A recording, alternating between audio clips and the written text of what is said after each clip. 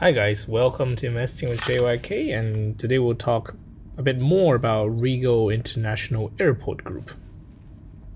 So when I last talked about this company, I mentioned that it had a bunch of issues. Uh, the most acute one being the liquidity issue.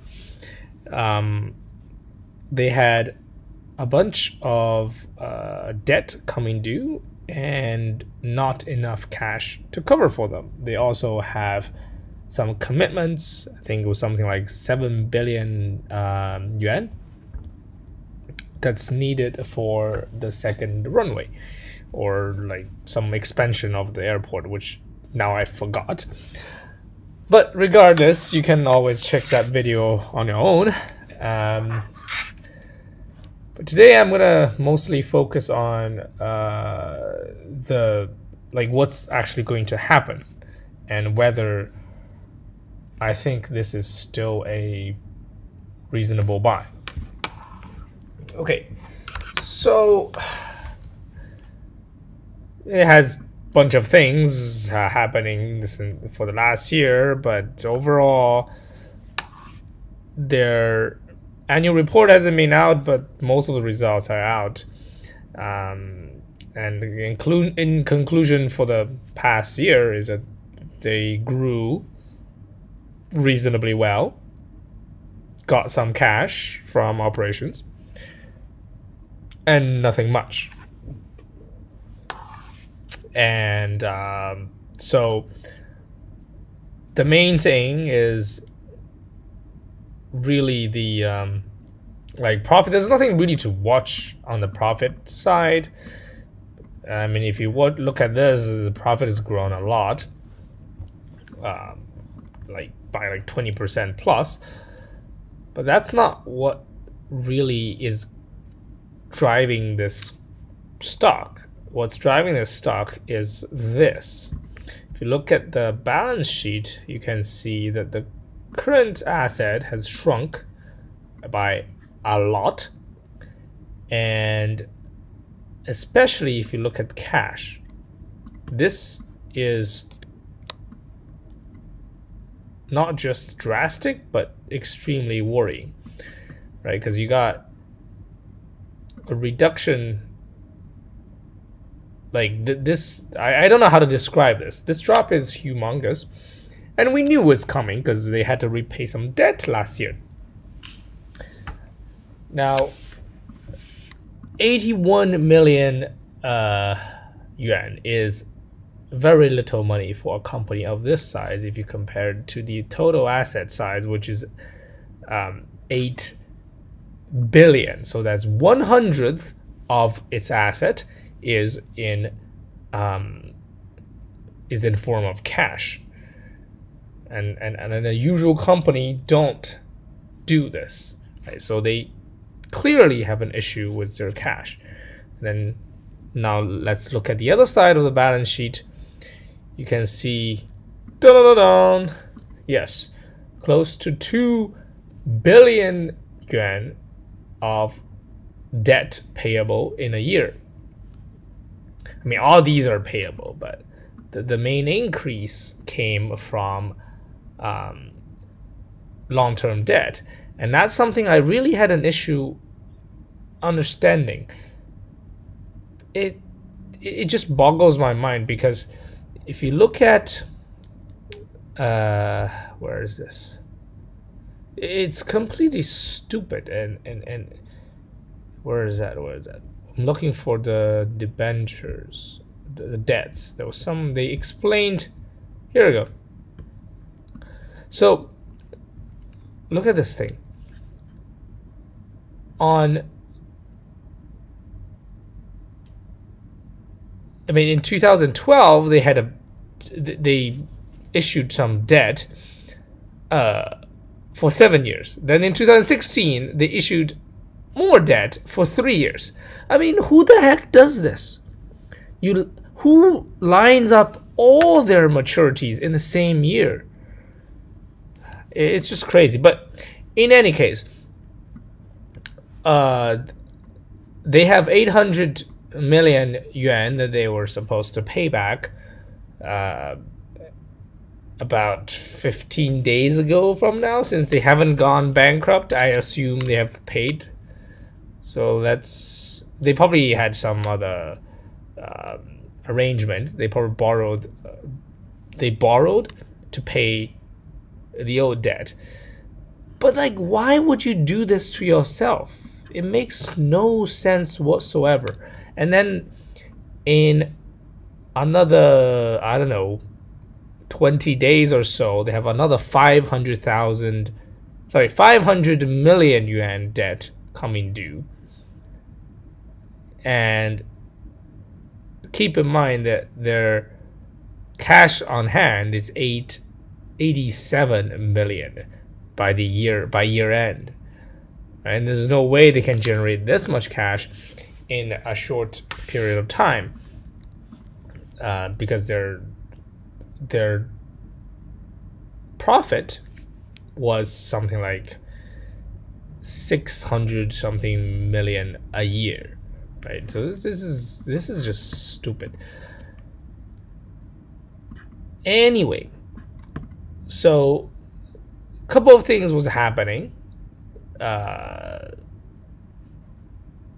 a couple of things was happening uh, during this meantime that they had one uh, equity like deal canceled that they were supposed to get paid back uh, from the parent company about 500 million yuan. Let, let me just find that something around oh yeah cash flow yeah you can see how the cash flow goes they had to invest they had to invest more last year than they could take in from operations, right? So no cash generation at the moment. And uh, where was that? Uh, go down. Oh, this is so stupid. Firmly deepen efficiency promotion. What the hell does that mean? Anyways, uh, we're not here to judge their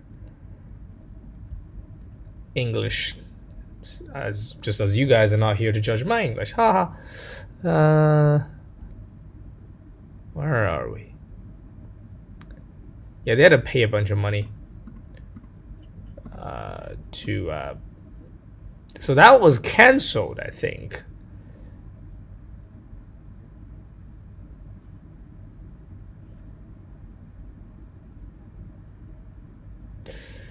uh, I forgot where that was, but anyways, in in the end, the uh, the amount of shares that was supposed to be issued to the parent company is about two hundred million, and if they do issue that, and uh, at uh, the current price, they would get about uh, close to a billion, uh, a bit more than a billion, because the current price is um, is six point eight, so it'd be like one point something billion uh, Hong Kong dollars, close about one billion yuan, and that's if they issue at the current price. But I don't think that's going to happen because um, I, I think this thing, which is owned by uh, Hainan Airlines, is again owned in turn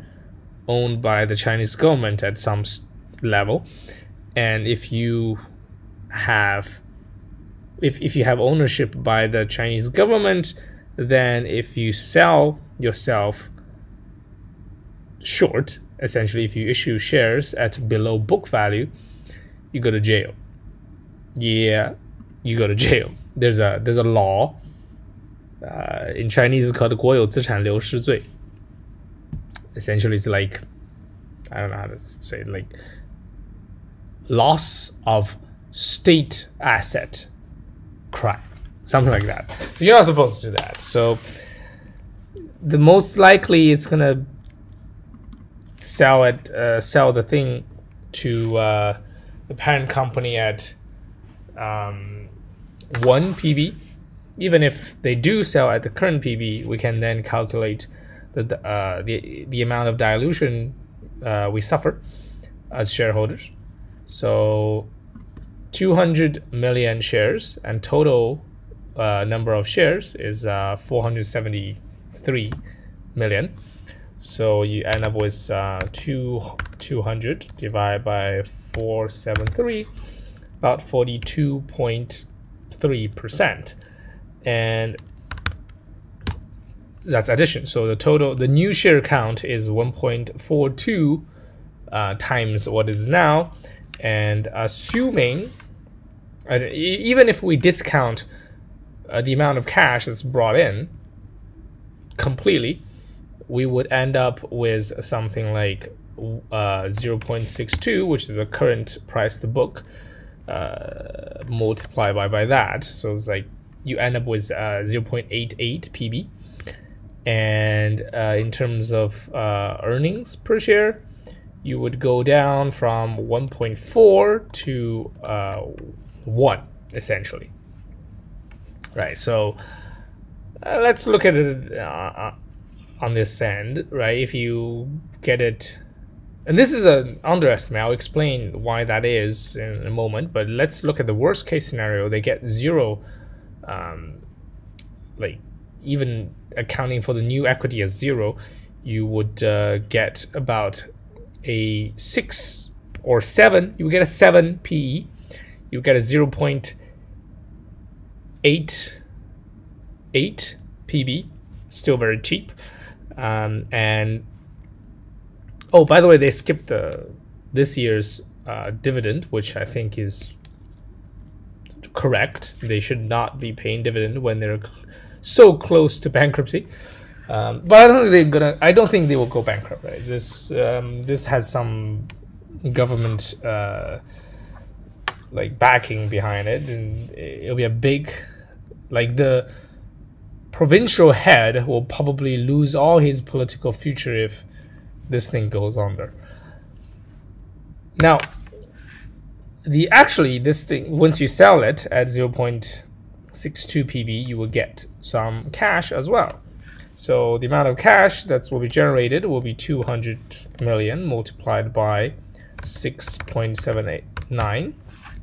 So 1.3 billion, the 1.35 billion, right? So your um, net asset uh, would be would increase by that amount.